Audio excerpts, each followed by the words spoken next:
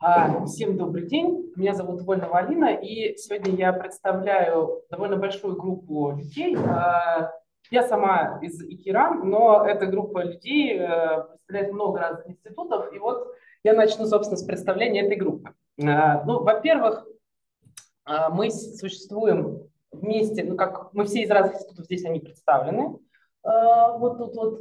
Мы существуем с 2018 года, и создательницами, идейными вдохновительницами нашего проекта а, являются Эмили Шида из э, лаборатории Клермон а, во Франции и а, Мария Пружинская, которая изначально из ГАИ МГУ, но она также тоже работала и сейчас работает в лаборатории в Клермоне.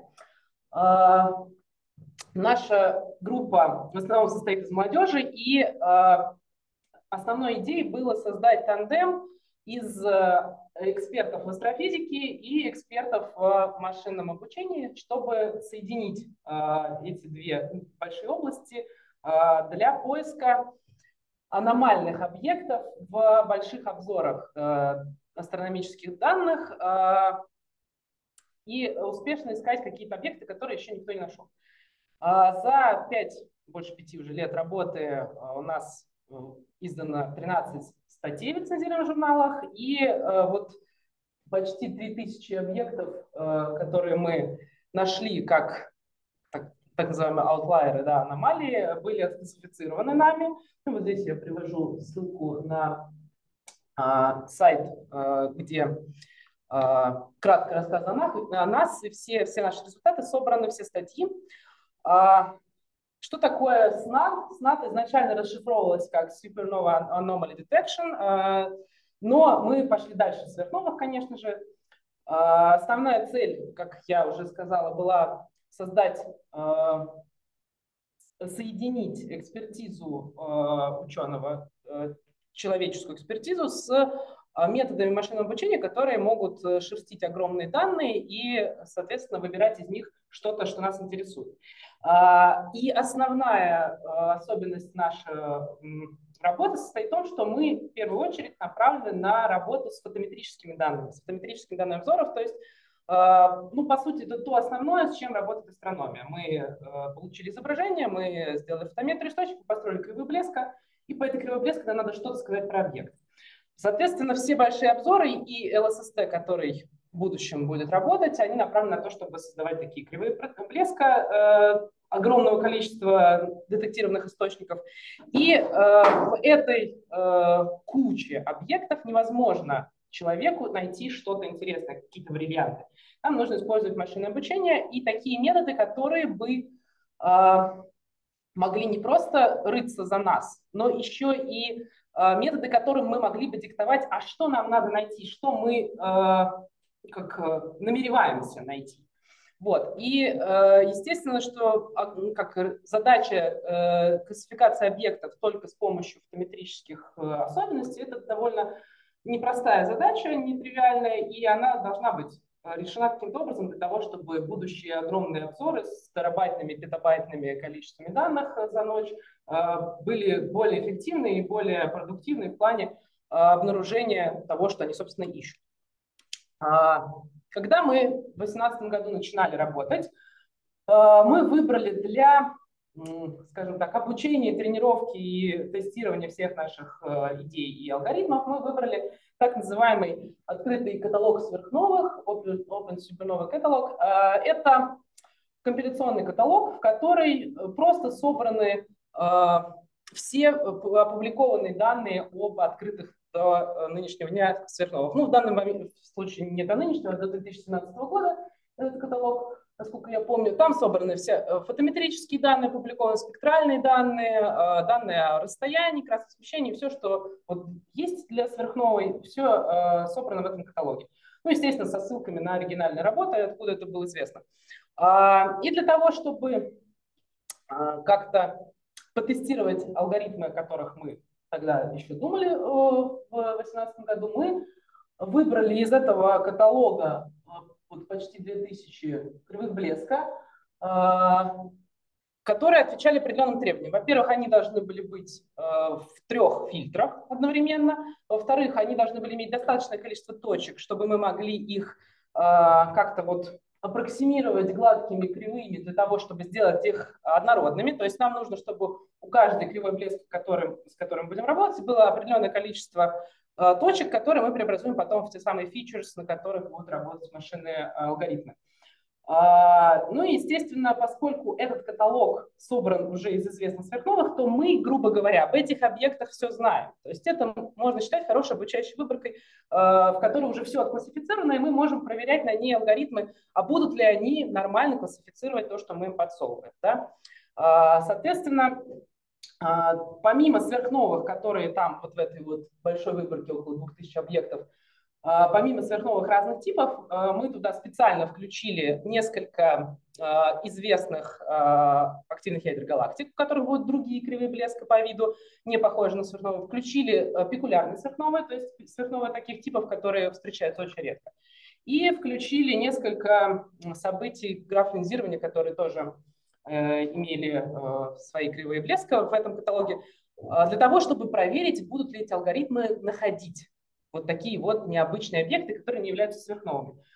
А после того, как мы вот здесь есть э, ссылка на публикацию, после того, как э, алгоритмы были оттестированы, э, мы переключились на более большой обзор, в данном случае это ZTF и его данные, ну, поскольку там с 2018 года почти миллиард объектов, то для того, чтобы уменьшить выборку, мы выбрали три Э, участка, один участок в галактической плоскости, один участок высоко от галактической площади, плоскости и один участок внутри э, галактики М31, ну, просто для того, чтобы это было три разнородные площадки, и из них можно было бы выбрать а, разные данные. Вот из там почти миллиарда объектов у нас осталось два с четвертью миллиона, над которыми мы, собственно, стали работать. Вот один из примеров кривых блеска интересных объектов, которые были найдены.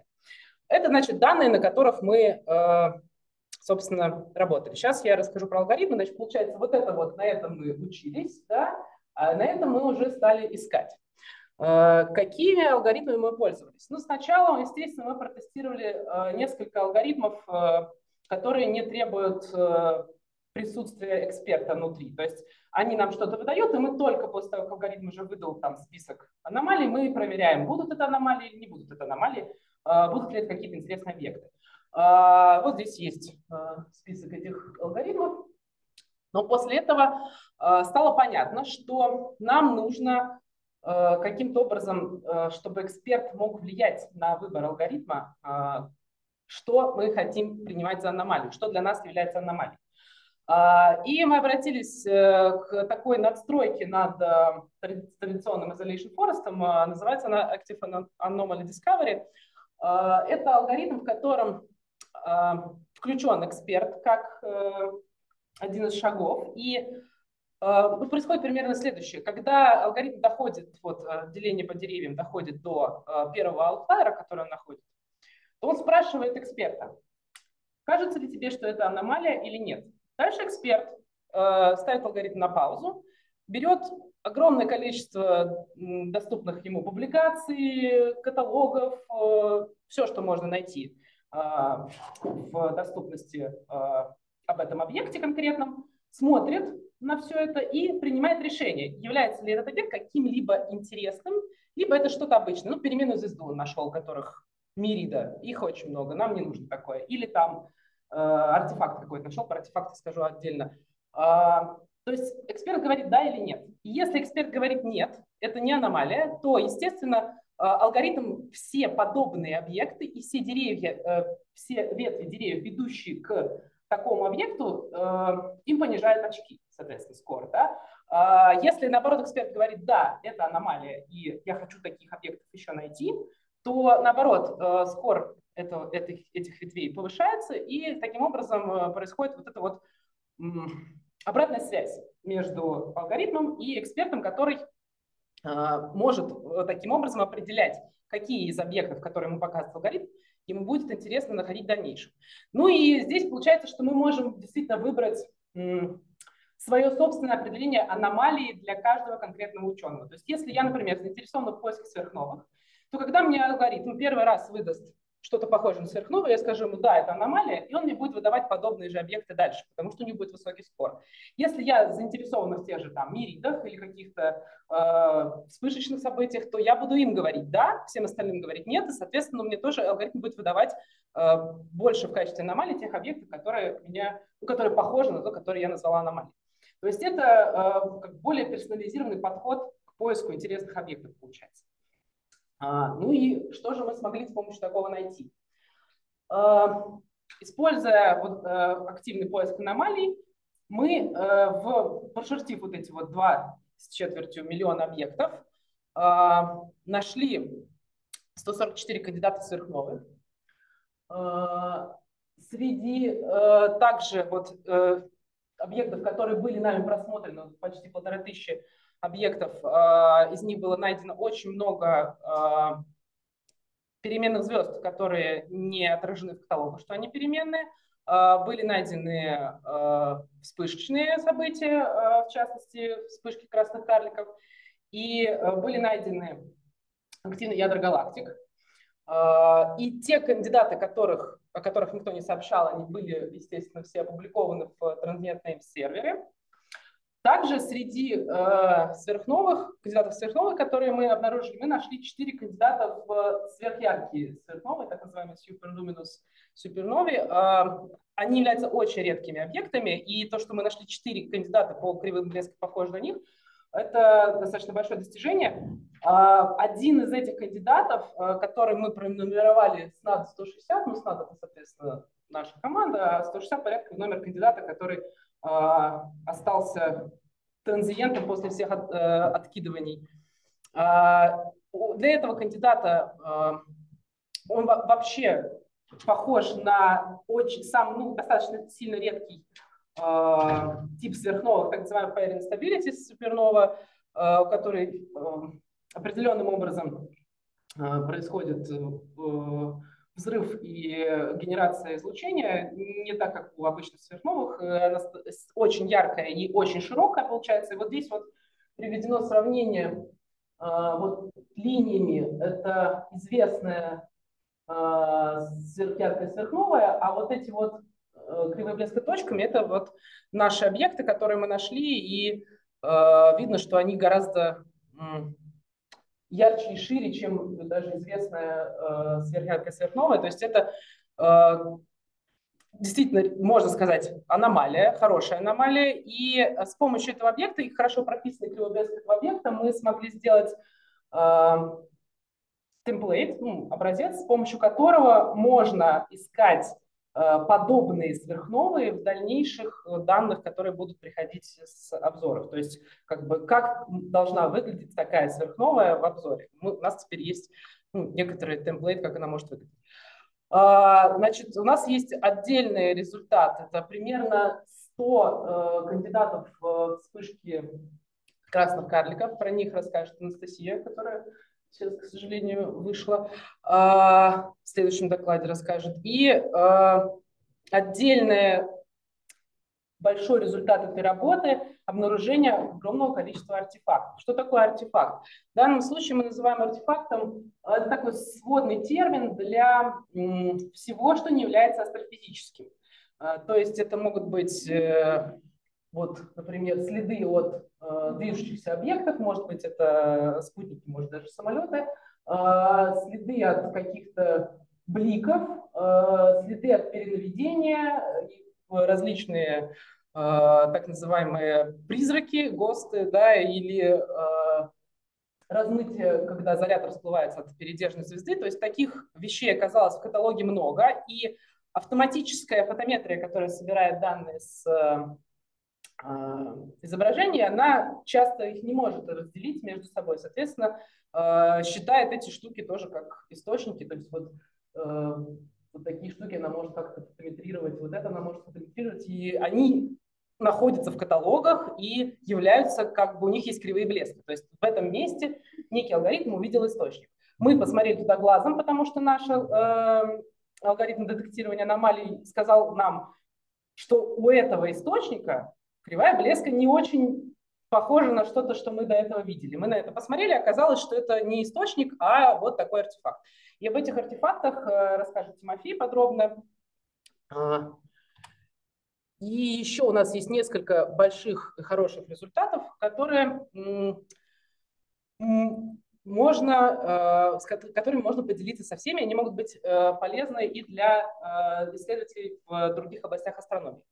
Первый и наиболее такой выдающийся результат – это создание ZTF Viewer. То есть это инструмент, который мы создавали для себя, вот для того, чтобы как раз эксперт, когда он находит, э, алгоритм ему предлагает аномалия, не аномалия, эксперт мог бы с легкостью отследить различные публикации, информацию об этом источнике в других каких-то ресурсах и, соответственно, определить, аномалия это или нет.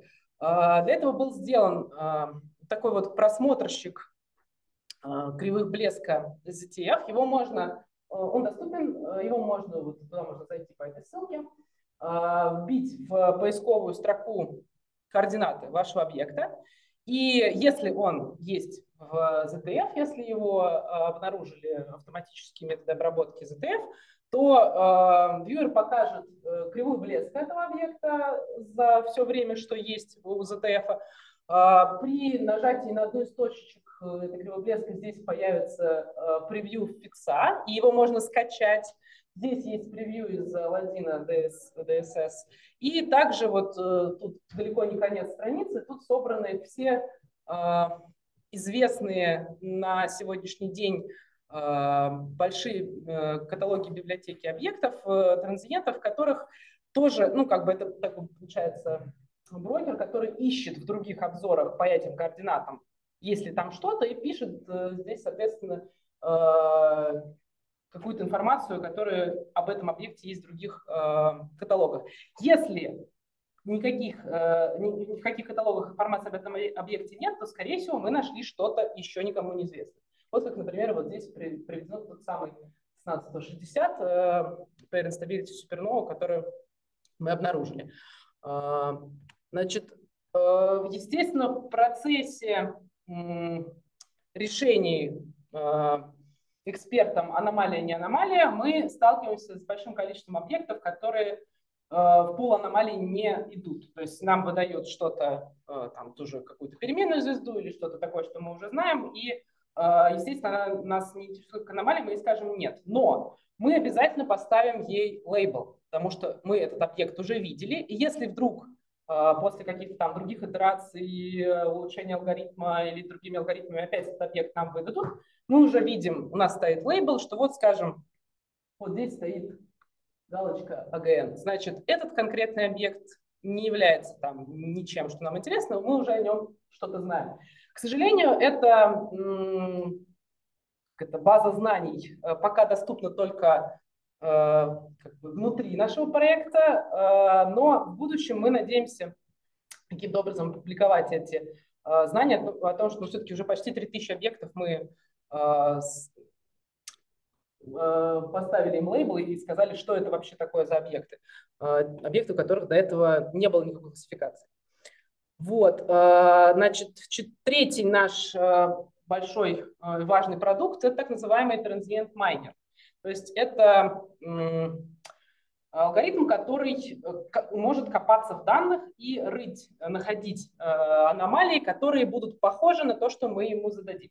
А задавать мы ему можем э, либо оригинальные кривые блеска, полученные в наблюдениях, либо мы можем задавать ему симулированные кривые блеска. Изначально этот майнер был натренирован на симулированных кривых блеска из набора так называемого пластик. Э, это э, набор симулированных кривоблесков, на котором э, обучают ЛССТ для дальнейшего, ну, все алгоритмы для ЛССТ. И когда на этом деле мы натренировались и напустили его на ZDF четвертый релиз, то из 89 аномалий, которые нам выдал, оказалось 11 э, до этого неизвестных транзиентов и э, 7 кандидатов в сверхновые, 4 кандидата в э, активный ядро галактик. Ну вот, э, как получается здесь такая схема, как он работает. Он берет э, некоторую известную модельную кривую блеска, которую мы ему подсовываем в начале, он ее распарсивает на э, признаки. Дальше с помощью э, камерных деревьев он ищет подобные кривые блеска в э, нужном датасете. И последний наш э, большой продукт – это, собственно, GitHub репозиторий реализации вот тех самых алгоритмов активное, аномаль... активное детектирование аномалий, которые мы использовали, и алгоритм Pine Forest, который мы назвали Pine Forest, это модифицированный э, Isolation, tree, Isolation Forest, который э, под влиянием решения эксперта, э, соответственно, э, перестраивает и фильтрует те ветви, которые не являются точно аномалиями. То есть, когда э, эксперт говорит нет, эта информация создает фильтр для тех ветвей, которые приводили к, такой, э, ну, к нахождению такого объекта, как аномалия. Ну и естественно, что у такого подхода есть некоторые преимущества. Во-первых, потому что э, его можно э, под свои нужды перестраивать, то есть мы можем любые аномалии, любые объекты, которые мы считаем для себя интересными, показывать как аномалии, соответственно, он будет их искать. Ну и, во-вторых, мы таким образом можем накапливать знания о тех объектах, которые нам не интересны, но могут быть интересны другим, когда мы ставим на них лейблы. Э, ну и наши дальнейшие э, планы – это, во-первых, протестировать наши алгоритмы, насколько они хорошо могут быть отмасштабированы на огромные э, данные, которые будут приходить с LSST, то есть насколько быстро они смогут работать с гораздо большим количеством данных. Ну и, соответственно, второе очень важное для нас э, дело – это э, общение с астрономическим сообществом и получение от него некоторого фидбэка, какие еще могли бы быть нужны модификации этому алгоритму для задач, которые есть у а, других команд в астрономическом сообществе для вот поиска каких-то аномальных объектов в огромных-огромных массивах. Ну, в общем-то, это все. Спасибо. Вопросы? У нас есть 7 минут на вопросы. Есть некоторые экономия времени. Первый. Сначала вопросы из зала, пожалуйста. Да? Если длинный вопрос, то лучше подойти, потому что оттуда точно коллеги, они там э, не стоят 7 человек э, слушают онлайн, поэтому чтобы... Да, спасибо. Интересно очень доклад, хотя я со астрономией только связан, что я на ночном небо люблю смотреть просто. А, вы ну, очень много говорили слова огромный, большой каталог, но я ни разу не услышал э, такие слова, как параллельная обработка, высокопроизводительное вычисление, параллельные алгоритмы. А что, вот, э, неужели это там не востребовано? Ну, я, к сожалению, как этот самый, больше по астрономической части эксперт, чем по алгоритмической, поэтому мы пытаемся, у нас есть кластер, вот как раз в Калермоне, на котором все это считается, и народ пишет, э, то есть мы пытаемся оптимизировать все это дело, чтобы это работало быстрее. То есть когда мы только начинали, там на, вот, он мне одну аномалию выдал, и я на полчаса могу выходить чай пить. Сейчас э, между вот соседними аномалиями проходит там меньше минуты. То есть, э, вы имеете в виду, что вы тот эксперт? Да, который решает. Именно. Ну, просто вот названия, которые там перечислялись, алгоритмов по базам, ну, они вот не параллельные. Вот поэтому мы, собственно, от них в большинстве случаев мы от них отказались. Мы вот в результате то, что мы имеем, это э, изоляционный лес, на который накручена вот это вот э, Active Anomaly Detection э, и различные, то есть модификации того, как эти деревья будут фильтроваться, как эти деревья будут э, получать э, скор свой, каждая ветвь из них, и э, как решение о том, что одна из один из объектов мы приняли как аномальный, как это будет влиять на дальнейшее решение э, алгоритма.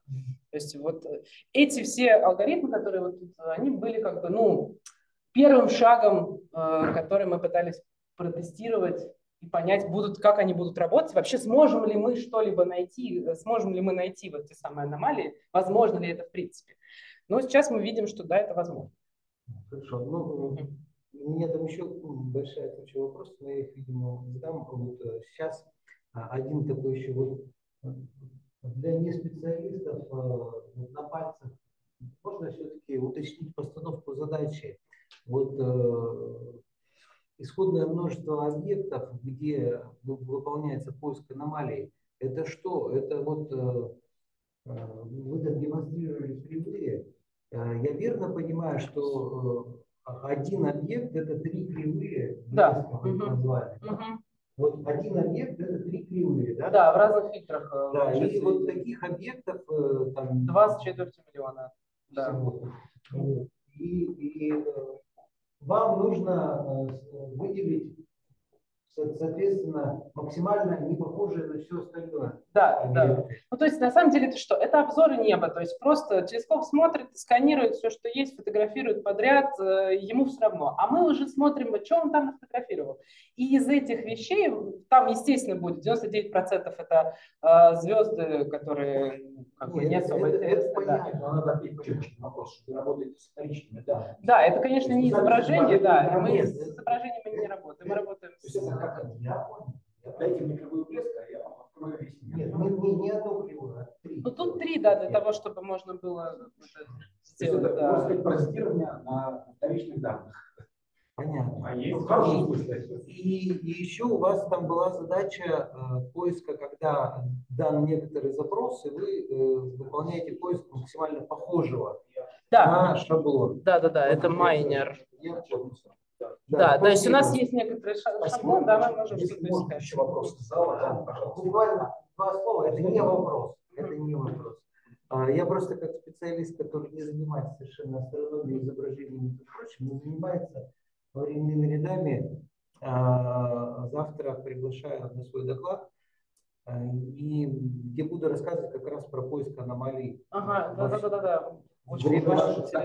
Мы уже, вот, да, у нас... Пожалуйста, спасибо большое. Это очень амбициозный проект. Отдельное спасибо за ZDF Viewer. Здорово. А, у меня вопрос может быть наивный, а может быть философский, не знаю. А, с точки зрения организации, что эффективнее?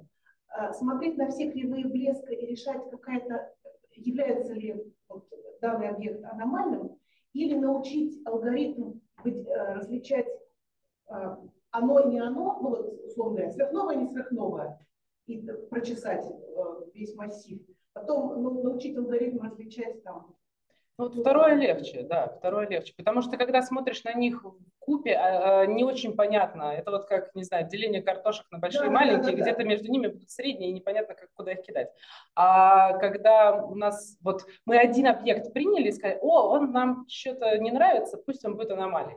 И тогда он нам начинает выдавать что-то похожее. Да. То есть вот так были найдены Red Dwarf Flares, про которые Настя расскажет. Э, то есть мы нашли одну, сначала долго чесали репу, что это, потом поняли, и после этого вот стали их искать как фильтр. То есть это как некий фильтр будет действовать.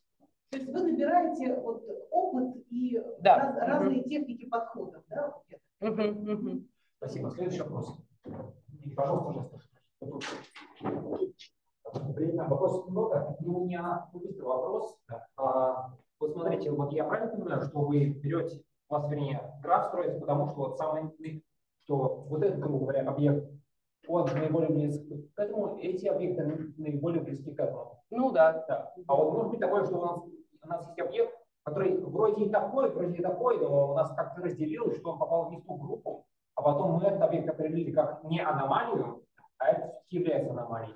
Может, конечно, у нас э, есть какой-то процент потерь, но тут э, что можем, то находим, скажем так. Перебалансировщика нет теряев?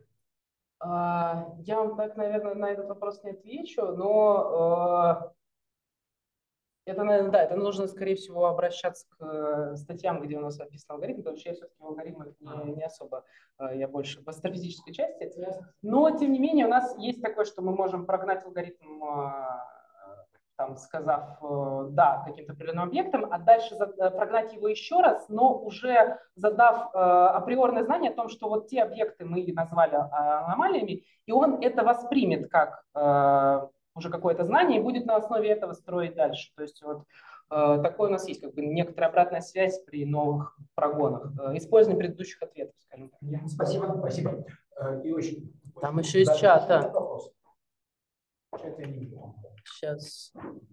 Э, я задам очень короткий вопрос. Э, вот э, были найдены сверхновые, классифицированы сверхновые. Однозначно классифицировать можно только спектроскопически. Первый вопрос. Второй, чуть более философский. Ну вот хорошо, найдена именно сверхновая, но ее уже нельзя исследовать. Она уже застывшая, она какое-то это дает науке новое знание о сверхновой. Ну, сверхновая, ну, во-первых, то, что мы на, находим э, сверхновая. Достоверно может быть сделано. Нет, ну, конечно, мы, э, конечно, мы не скажем, что это действительно сверхновая на 100%, потому что у нас нет возможности снять спектры, но мы можем сказать, что это кандидат сверхнового такого-то типа most probable. Это что как... теперь это дает для науки, если мы не можем мгновенно это пронаблюдать, то, что вот сейчас это вот сейчас Абрамин 101 идет сверхновая второго типа мы ее наблюдаем, спектры, там все уже три статьи есть. А вот по найденной что-то для физики это дает? В первую очередь статистические э, вещи, да, частотность и э, их можно... Точная классификация. Спасибо. Да. Ну, так, у нас еще в чате есть э, а, два вопроса. Да, значит, э, Какая задача в итоге решается? Классификация транзитов. А, ну, по сути, э, классификация транзитов входит внутрь этого, потому что мы не можем э, решить, аномалия это или нет, если мы не скажем, что это такое вообще. Да? То есть, ковыряете каждую... Да, каждая аномалия, но у нас, э, скажем, есть бюджет, то есть когда мы запускаем алгоритм, мы ставим бюджет там 40 источников, и он мне выдаст не более 40 аномалий, и, соответственно, каждую из них по очереди я буду проверять, и решать. Да? Ну, могу поставить меньше бюджет, могу больше, да, но, соответственно, каждую из них приходится проверять вручную, но это есть как раз э, момент присутствия эксперта. А есть ли какой-то порог уверенности, по которым кандидаты в аномалии рассматриваете? А, ну, философский вопрос, потому что а, как бы алгоритм выдает у нас вот деревья, да, которые делят. Либо туда, либо туда. А человек уже смотрит, ну, я могу решить одно, другой эксперт решит другое, третий эксперт решит третье, но мы в результате какой-то устроим консилиум, аномалия это или не аномалия. А, API, по которым своих конвейеров. Про API надо а спрашивать. А, окей, да, вот API есть, Настя говорит, отлично. Так, Артем. А, говорит, основание ключевых параметров является порог, повышение которого вызывает решение наличия аномалии. Являются пороги в вашем проекте. Ну, да, э, ну про, про порог э, я не могу сказать. Ну, мы берем самые, как это, самые верхушку срезаем, то есть э, аутлайеры, вот выбросы, которые будут наиболее явные выбросы. Вот, то есть, ну да, вот если у нас там есть выборка из двух э, с четвертью миллионов, и, а я ставлю бюджет 20 аномалий. порог является бюджет. Да, порогом является бюджет. Вот я поставлю 40 аномалий, у меня будет такой порог. Поставлю 100, буду сидеть все 100 проверять. Вот. Э, так что ответ такой. Так, спасибо. Мы чуть-чуть выбрались из графика, но ничего страшного, потому что мы здесь собрались, чтобы именно поздавать.